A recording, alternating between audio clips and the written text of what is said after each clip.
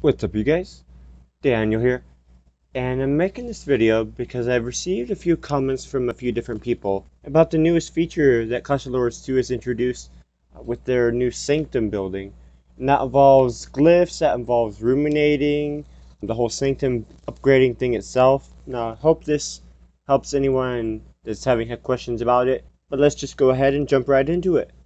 Alright, so first I'm going to go ahead and show what you need to do to go ahead and get these glyphs. And as you can see, you can either spend souls, you can spend rings, you can spend mutagen, and the last option is what's called an orb of gleaning. Now, as of this moment, in this recording this video today, orbs of gleaning aren't actually in the game currently, but what they basically are, are if you think of talents and you think of talent refreshment beads, they basically serve the same purpose to go ahead and substitute using resources like jewels for talents, but in this case to be resources. So you don't have to use those, and you can just use the orbs of gleaning. And basically serves that purpose. Gleaning does have five tiers, one star all the way to five stars. One star, you won't really get very much. You'll get greens, you'll get a couple blues if you're lucky. You'll get EXP glyphs maybe, but I'll go into that in just a little bit. When you glean for glyphs, which is what it's called with spending resources for these shapes that you see on my right hand side, you'll start out your very first time, you'll start out at the one star upgrade. At that point, if you press glean, you'll have a chance to jump up to the two star rating or just staying at where you're at right now. If you do jump up to the two star rating, then you have a chance either staying where you are, going back down to one star, or going up to three star. Same applies for a three star. You have a chance of staying where you're at, going down to a two star, or going up to a four star. If you go down to a two star, the same rule applies as before.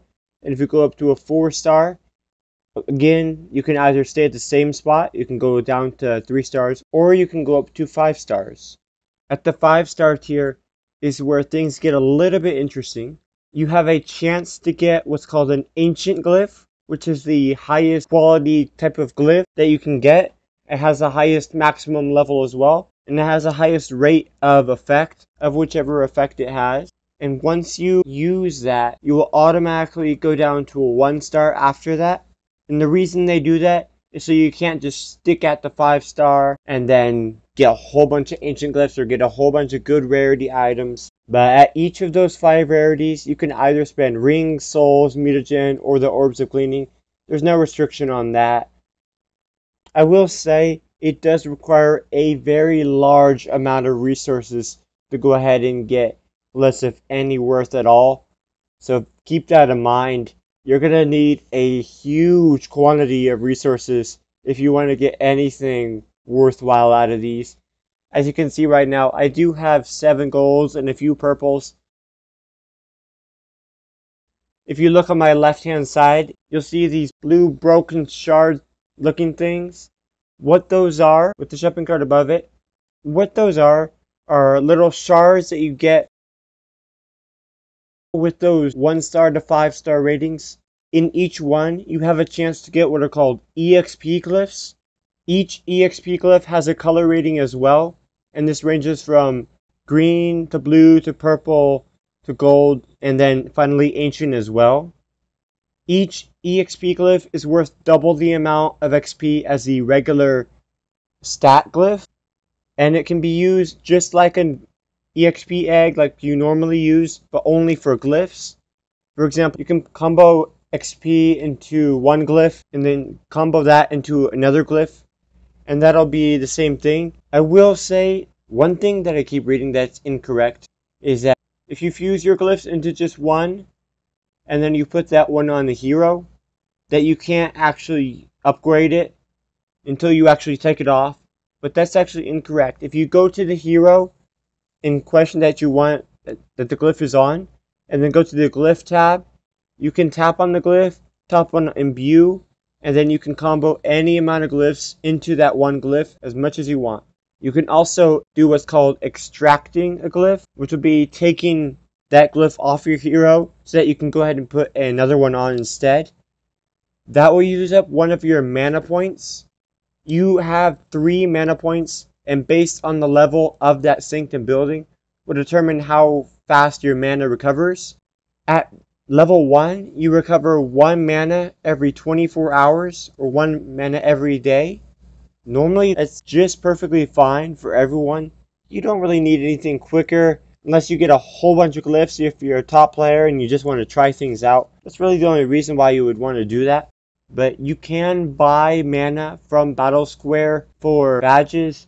I would not recommend it. I personally think that's a waste, but hey, the option is there for you. You can choose it if you do want to. Alright, but back to the EXP glyphs. Each EXP glyph will give a quote unquote random amount of EXP shards. These shards will be the little broken blue shard things you on my left hand side just below the shopping cart. What you can do with that is if you have enough shards, you'll see six items in the shop. They'll be split into two sections. One, the quote unquote hot section, which will be the ones that you'll be aiming for. Don't ever buy the ones on the right. Those will have purples and those will have golds sometimes. Just don't ever buy them. They just won't have as good of an effect as the ones on the left. Now the ones on the left will be pricey, they will be gold for 7500 or they will be ancient glyphs, which will require a whopping 30,000 shards. Although ancient glyphs, since they do have a higher base stat buff, and they do have a higher maximum level, I would definitely recommend trying to save up at least the gold. If you can save up to an ancient, I would definitely recommend that. They're the best ones by far. They do cost a lot. I'm not gonna say they don't. They do cost a lot. But they are the best in terms of stats. And that's why I would go ahead and definitely recommend them. You can also see the stats and view the buffs that a glyph would get in the shop. All you have to do is tap on it and then tap on the actual little shape that you see in there.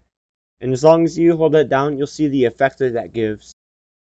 Alright, now I want to go ahead and talk about each glyph I'm going to go ahead and start with these five tiers of glyphs. The green, blue, purple, gold, and ancient. Each tier has a certain amount of glyphs that it includes. The higher level glyphs will include more glyphs and higher max levels for those glyphs. Like for example, for the green glyphs, there's 30 total glyphs. The highest shape are the square glyphs, and the highest level they can go up to is 5.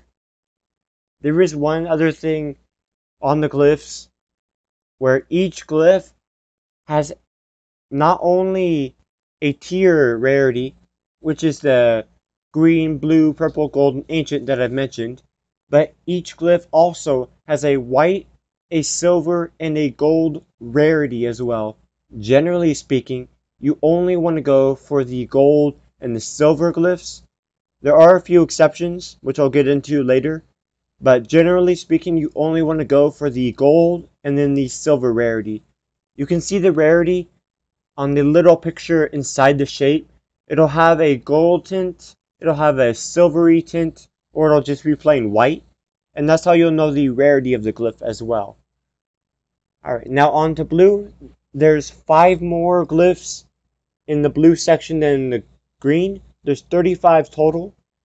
In the blue rarity, the highest level of shape gets bumped up to an octagon, which is one level higher than a square.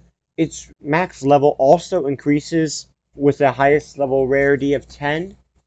And then at the blue level, that's when you unlock the gold rarity. And then we'll be moving on to the purple one. At the purple rarity, you unlock all possible glyphs. You also unlock the highest shape, which is the star shape. You also get another maximum level increase from 15 in the purple section to 20 in the gold section. And then for the final tier, the ancient tier, there's also 51. The highest level is also a star, but this one includes another maximum level increase, whereas the gold one was level 20 at the most. Ancient level glyphs have a maximum level of 30, and level 30 ancient glyphs can make a big difference on your hero. I will say low level glyphs, even if you have a few of them, that doesn't actually provide much of a benefit. The only time you'll be able to notice much of an effect is with a few gold glyphs or a few ancient glyphs on your hero leveled up to a decent level. At that point, that's when you're going to be noticing an actual difference in the way you attack and how fast you kill the heroes, how long your heroes stay alive, etc., etc. But right now, I just want to go ahead and jump into the effects of these glyphs. I'm going to go ahead and jump to the ancient levels just because that shows the full power and the full effect that you can get from these ancient glyphs. And I'm going to start with the first one. I'm going to start with the star rarity for the ancient glyphs. This one is called Adept. It has an effect that halves your active skill cooldown. Now, you would be right with thinking that this is almost broken because you can do quite a few crazy things with it. If you've seen any of the videos on how powerful Pangoli is, if you were to put that star glyph on a Pangoli, you could in effect double the DPS that Pangoli would do, which is kind of crazy if you think about it. Another good hero to use it on is Great Sage, because I know a lot of heroes and a lot of things have come out to shorten the time you get locked up and then to go ahead and negate skill locking. But with this Adept Star Glyph, you can go ahead and make your Great Sage great again. You can make sure that you can lock out heroes quite a bit better than you're doing right now. And pretty much a little bit better than how he was when he actually came out, though, in my opinion. In PvP, you can also use him with Wrath, especially with the Instant Blast team skill. With that, you can basically render your opponent's team pretty much useless, and that'll help you win quite a lot more, quite a lot easier as well. There are some heroes that benefit greatly from this as well, uh, but those are just two heroes that came to mind while making this video. Now this one's called Skullbash. It kind of has a confusing effect, but basically what it boils down to is your attacks have a 60% chance to inflict stun for 6 seconds. The kind of confusing part is once every 9 seconds. What that means isn't that every 9 seconds that one attack has a 60% chance to inflict stun. What it actually means is that your attacks have a 60% chance to inflict stun, but once they inflict that stun for 6 seconds, then they won't be able to have that effect again until 9 seconds have passed. This is really good with a high attack rate hero like Ambrosia or Skull Mage. Once again, this really helps with PvP modes like Battle Square and Colosseum.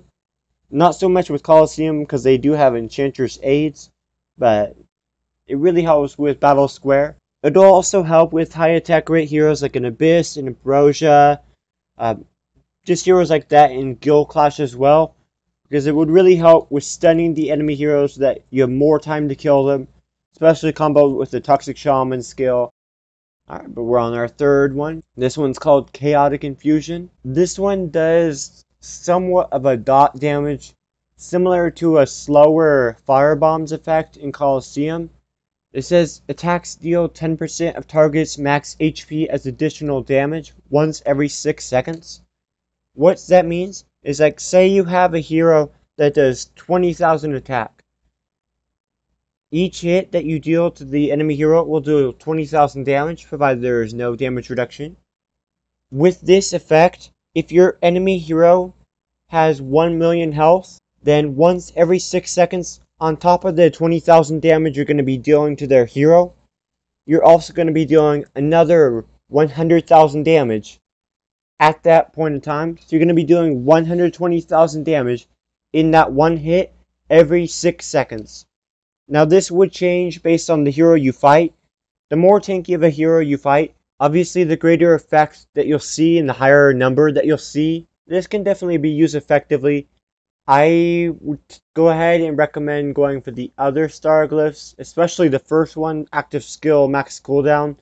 That is a that is really a game changer. That really is. Alright, but we're on our fourth one. This one's called Life Drinker.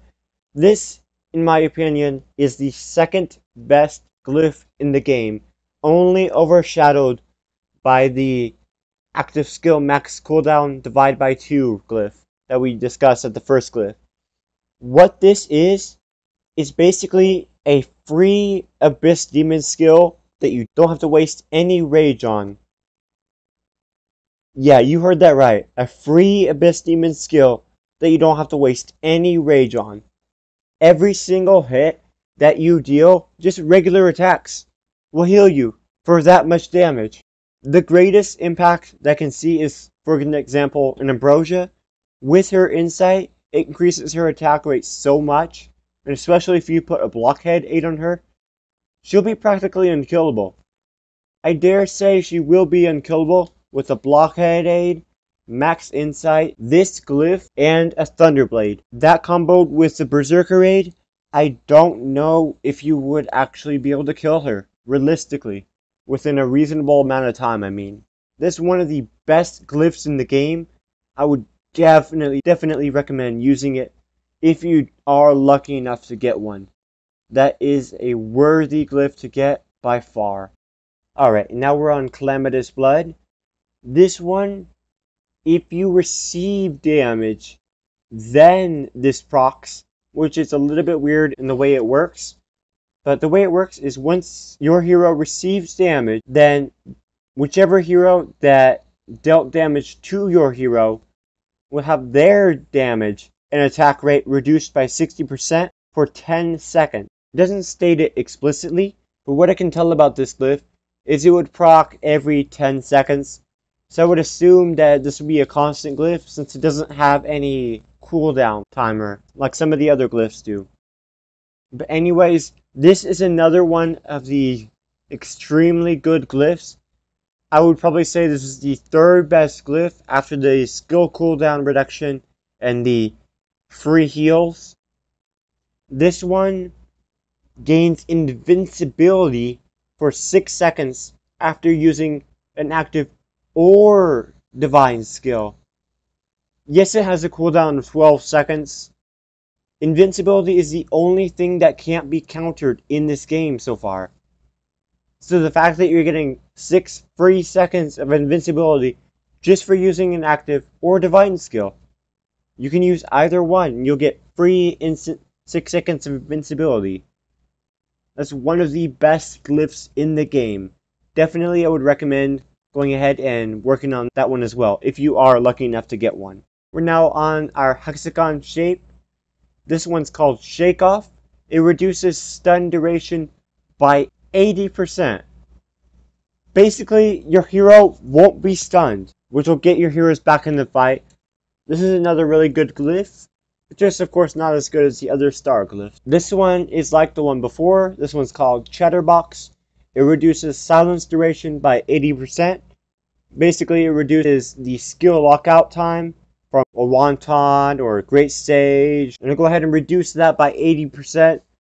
That really, really helps as well. If you're having trouble in Hero Trials, this can help with that. Or if you're having trouble with Colosseum or Battle Square, this can also help quite a bit. Since the opponent hero thinks that since they've locked out your hero, that the hero is useless now. But no, no, no. If you have this, you can get them back into the fight. Alright, now we're on Rejuvenation. This one heals 6% of max HP every 6 seconds. Don't invest into this. This is a trash glyph. This is a really trash glyph. This is basically a landslide aid. There's a reason people don't run landslide aid.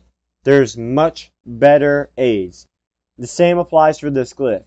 They're going to need to buff this glyph if they want people to use this glyph. This is a trash glyph. Do not invest into it. Alright, now we're on Minion Mastery.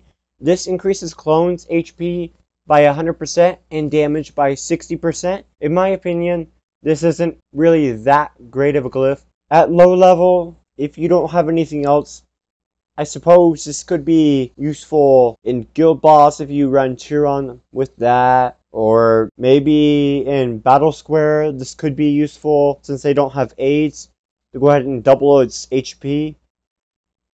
But generally speaking, I, I wouldn't recommend investing into it. I personally think this glyph is a waste I think your glyph XP is better used into other glyphs. This one's called Diffusion. It deals an additional 100% damage against clones. Now this glyph will be an amazing one in Guild Boss, especially for the people that can't deal with a Wednesday Guild Boss clone. This will help them so much. This will allow them to actually kill the clone and actually get higher Guild Boss scores.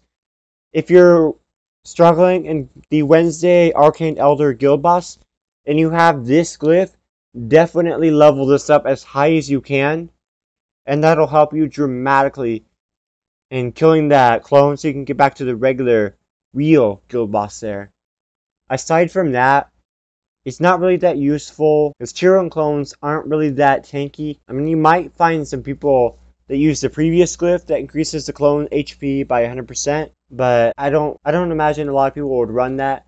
So if you're not using this for Guild Boss to destroy the Wednesday Arcane Elder Guild Boss clone, I wouldn't waste my resources in investing into this one. Alright, this one is a really, really strong glyph. This one is also tied for third, maybe fourth, but I think it's tied for third. It deals an additional 100% damage against buildings. Let me repeat that. It doubles your damage against buildings. What makes this glyph so good? Guild Clash. Doubles your damage in Guild Clash especially if you combo this with an Ironclad aid, it's going to triple your damage in Guild Clash. Triple your damage in Guild Clash. I don't feel I need to say more. Alright, this one's called Blaze of Glory. This one I'm not really a fan of, but I can see how it can be used effectively. I just wouldn't invest into it myself but it deals 800% attack damage to all surrounding enemies on death. So for example, if you put this on a high attack hero and it's surrounding a lot of enemy heroes and then they manage to kill your hero, it would deal a large percentage of their HP as damage and possibly kill them. Now this won't really be much of a threat at high level because Berserker A's are a thing, but at mid tier and at low level, I could see this definitely being used, but at high level, this wouldn't be very effective. It really wouldn't, because it's just one burst. It's not dot damage. So this wouldn't be a good glyph at high level. Now this one, even Oz, is quite an interesting glyph. That hero that you have it equipped on gains a shield that absorbs 500,000 damage whenever HP falls below 40% it does have a cooldown of 30 seconds.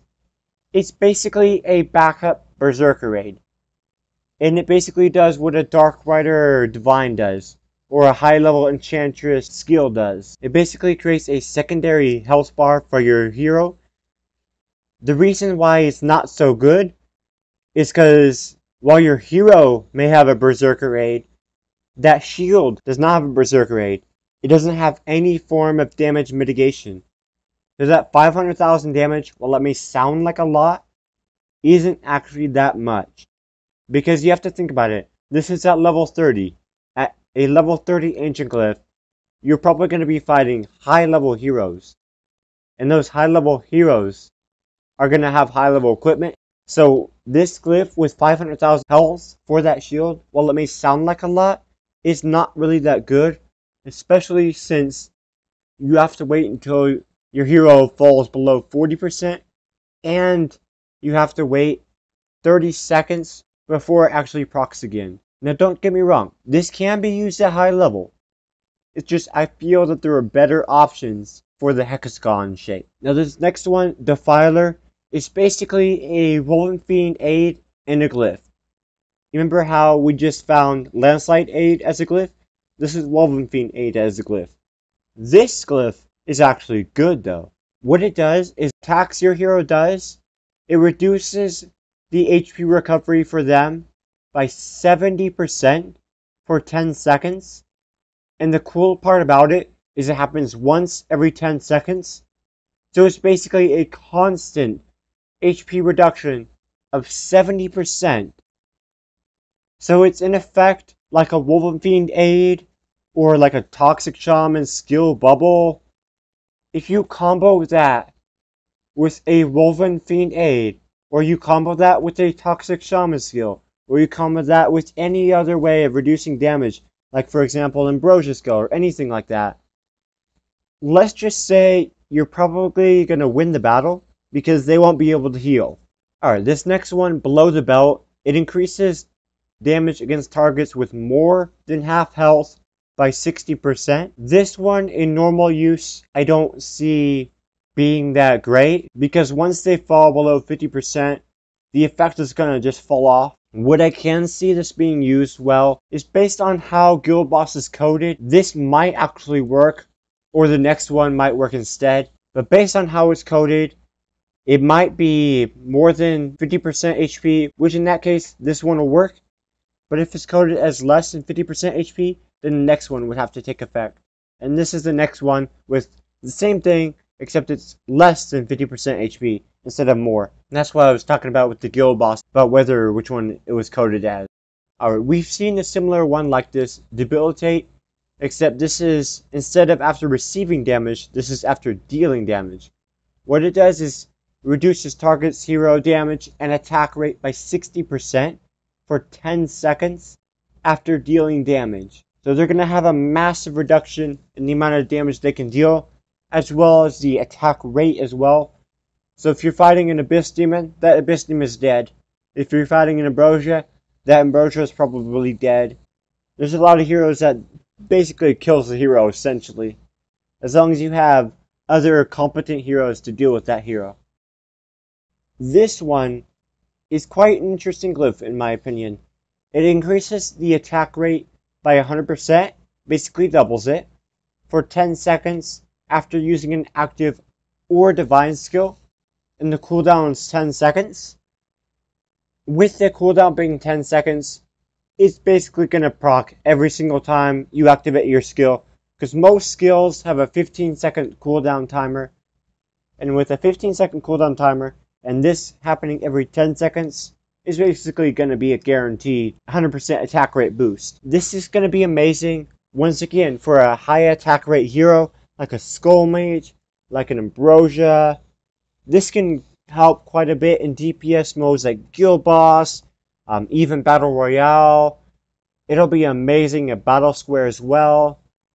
There's a lot of uses for this glyph, it's a very good glyph in my opinion. I would definitely recommend investing into it if you actually get this glyph. Now this one is called Firm Footing. It is a counter to Ravager skill. It's a counter to Demon Slayer Divine. It's a counter to a few different things. It's more of a situational glyph. I would regard this as a waste of investing resources into. I would not invest into this one at all. This one's similar to the previous one, where it counters pull effects, but this one is for knockback and knock away, basically a counter to Pangoli. This one, Recruit the Elite. This increases mercenary base attack and base HP. This one is a mixture of both worlds. For example, if you want to deal a little bit more damage in Battle Royale, but your mercenaries don't live long enough, you can go ahead and put this one on there, and that'll help your score. I would recommend using this one on maybe like a sharpshooter team because the sharpshooters don't really have that much HP. Now this one is just like a stat buff. It has an attack damage reflection of 25% and skill damage reflection of 26%. Personally, I think that's just something that they coded in just because they could. They copied it from equipment. I wouldn't really waste a whole slot on this, but if you want to, by all means, go ahead. It's not exactly a bad glyph. This one is a pretty decent glyph. It does give your hero 10,000 extra attack and 250,000 extra HP. That can provide quite a nice boost, so this is definitely a solid glyph in my opinion. This next one, Spring of Life, increases your HP recovered by 60%. This is also to counter some of the other stuff in the game, including glyphs, which reduce your HP recovery. This kind of helps mitigate that. One amazing use for this glyph is if you put it on a Woven Fiend with an Ambrosia aid, let's just say Wolf being broken has a whole new meaning. Now this one, Mercenary skill damage reduction, the only possible reason I can see of using this glyph is in Arena, just so your mercenaries won't get one shot. That's really the only possible reason, only good reason I could come up with this glyph. Otherwise, it's just a waste. This next one, Recruit the Guarded, it ties in with the one I just mentioned, except it's, it's regular damage reduction. It's not for active abilities. This one, Mercenary base HP plus 300%, so it quadruples the base HP for your mercenaries. Once again, this could be used with sharpshooter team. Sharpshooters are generally very weak. So if your sharpshooters aren't living very long, go ahead and put this on. That'll help them live basically the entire fight. So that way you can be dealing all the damage that you're supposed to be able to be dealing. This isn't a bad glyph, but it's not a good glyph either. This is a godsend for wizards in Battle Royale. Just look at that. Mercenary base attack plus 150%. So it more than doubles the base attack. It multiplies it by 2.5. Yeah, let's just say the billion barrier in Battle Royale is going to be broken soon. This is an amazing glyph. It doesn't look really look like it, only 33%, but it's an amazing glyph. It increases the dodge rate by 33%. If you combo that with dodge talents, if you combo that with the Wanton aid, if you combo that with enchant skills, if you combo that with equipment, this adds up fast. Right now, without any glyphs, with maxed out Rene Ven, a level 25 enlightened Rene Ven, with a plus 3 gold heart, max talents, max enchants, max wanton aid, everything, it comes out to, to 101% dodge rate. Now you won't see that because enemy heroes have hit rate, but if you combo this glyph into it, and then the enemy heroes don't have enough hit rate to counter that, basically your hero is going to be living quite comfortably for a very long time. Alright, now this is the direct counter to dodge rate. The only reason I would recommend using it is if you notice somehow that the heroes you're fighting actually are equipping that dodge rate glyph, then I would recommend putting the hit rate glyph on it. But otherwise, it's kind of a waste in my opinion. This one, attack damage reflection plus 50%. This could be good. It reflects 50% of the regular damage that enemy heroes do to your hero. It can be used pretty effectively. Uh, for square slot, it's a pretty good choice, although I would recommend a different square glyph than this one. Now we're on our final square glyph, skill damage reflection plus 50%. This is a lot better than it seems actually, because there's quite a few high damage hits, like a Wanton Divine, Wanton Skill, Great Sage Skill, Pangoli skill. There's a whole bunch of high damage hits, and so greatly help with dealing with those enemy heroes, especially comboed with an Aegis. Now this one is just like a stat boost. Eye increases crit rate by 16.5%, increases crit damage by 25%. If you want to go ahead and invest into it, by all means go ahead. There's better glyphs though. Another one, hero damage plus 25%, hit rate plus 16.5%, this is a less useless hit rate. If you want a little bit of hit rate, go into this one. In my opinion, the 33% hit rate is unnecessary. You just need this one. Plus, with extra 25% damage, that's all you really need. This one is an amazing glyph. There is some confusion about this, even though IGG has released an official statement on their Facebook page. But basically what it does is if you think about what a Tyrant's brand does, is it has an 80% chance of ignoring a Berserker aid, ignoring damage reduction, ignoring anything that the opposing hero might have for skills and divines.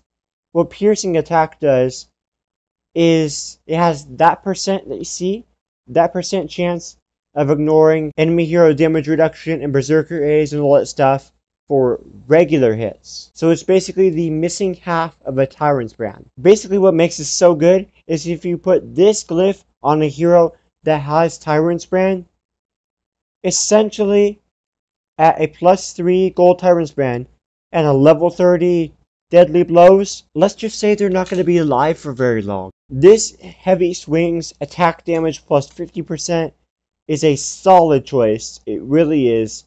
It basically multiplies your attack damage by 1.5.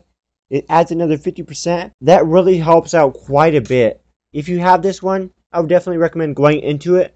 But if you have another one, you can rather choose. This glyph is still a solid choice. Heroic Finesse, skill damage plus 50%. IGG done messed up with this one. Pangoli will most likely return back to how he was when he first came out. It grants an additional half of that skill damage back on to the Pangoli skill. This also works with Great Sage skill, of course, Wonton skill and Divine, of course, any high damage hero in a single hit. This is just broken. This is an amazing glyph. I don't know why this is only a white rarity, but it is. This one, crit damage plus 50%. It's pretty self-explanatory. If you're going for a crit build, get it. If you're not, don't. Same rule applies.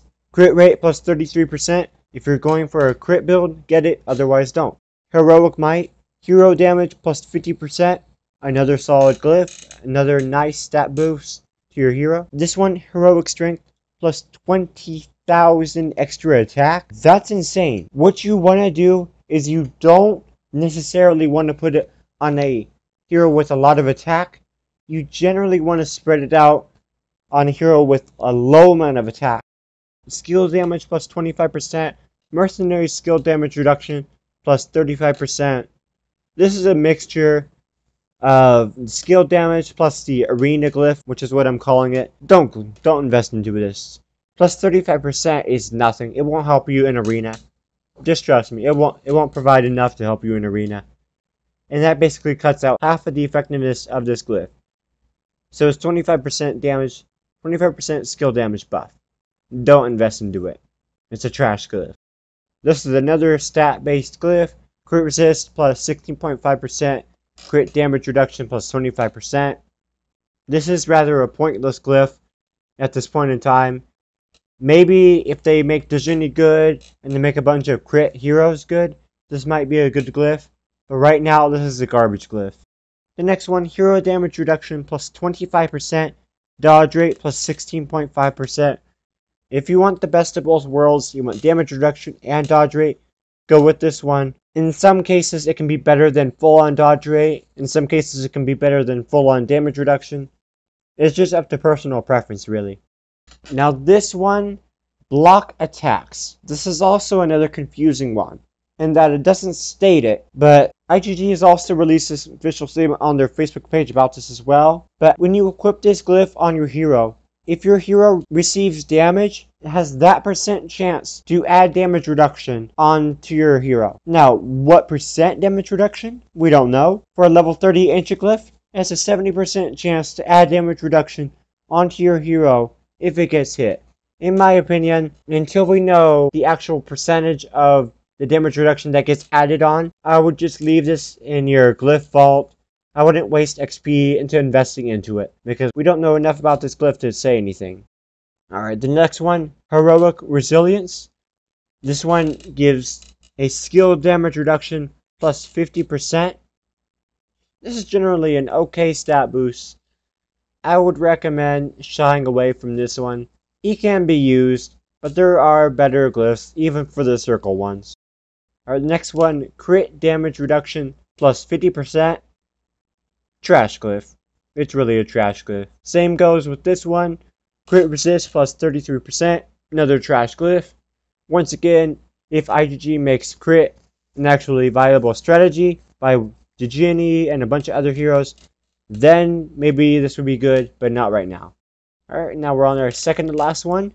Hero damage reduction plus 50%. This is generally a solid choice. Invest into it if you want to.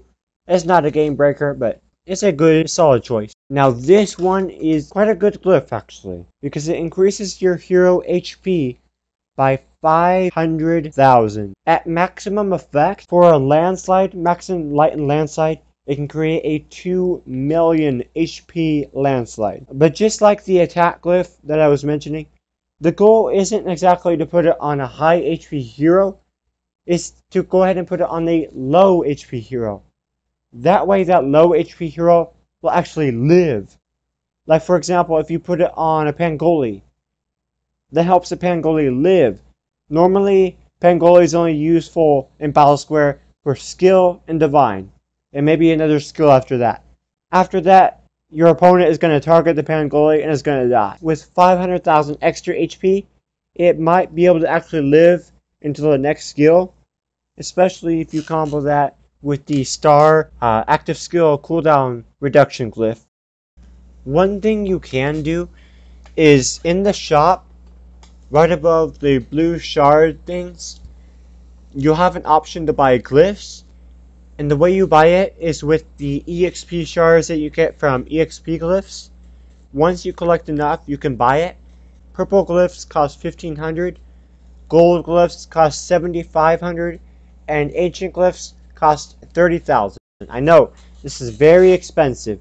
It's going to require a whole lot of resources.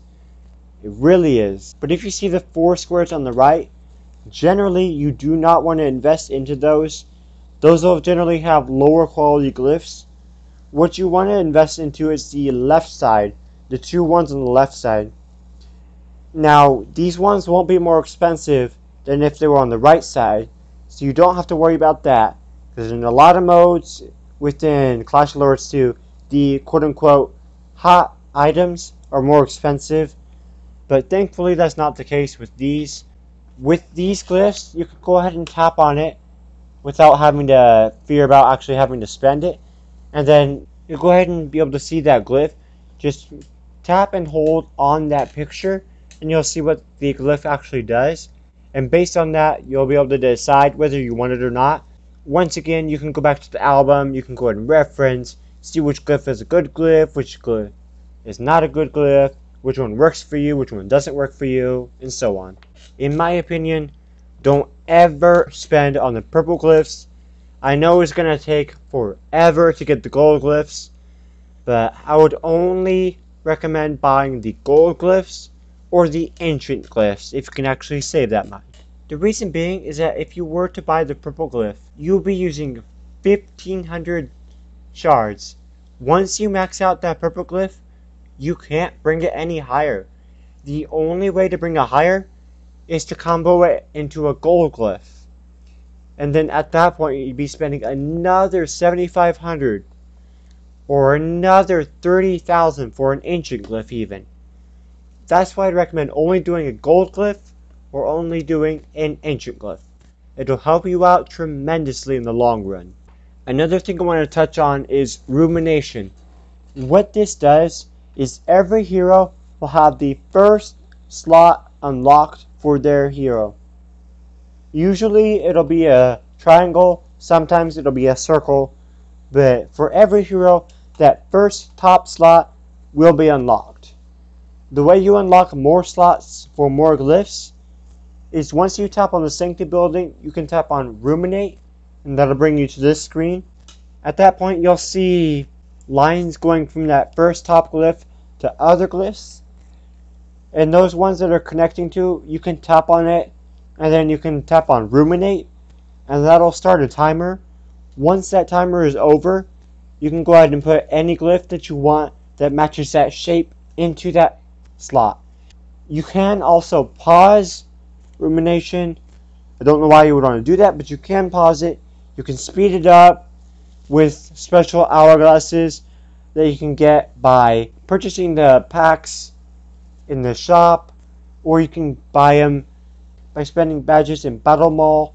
I wouldn't recommend doing that. I think that's a waste, but you can do it if you want. After Rumination is done for that hero, you can go ahead and go to farther and farther down ruminations to get better and better slots. Each one of those shapes that you ruminate, except the top one, has to have your sanctum be a certain level. if you want to get the second level, you have to, have to, have to have your Sanctum at level 3 or higher. Different heroes will have different requirements for the different glyphs. The only two things that remain constant for all heroes is that the first glyph will always be unlocked, and then the star glyph, which will be at the very end, will always have a level of 25. Now I will say, leveling up the Sanctum building requires mutagen instead of gold, and it requires time. Now this time can actually be sped up by speed scrolls, which is really nice. But with the mutagen cost, this adds up quick. To get it to a level 25, which is the max level for a star glyph, it requires over 80,000 mutagen. And then just to get it 5 more levels to a maxed out, it requires over 131,000 mutagen.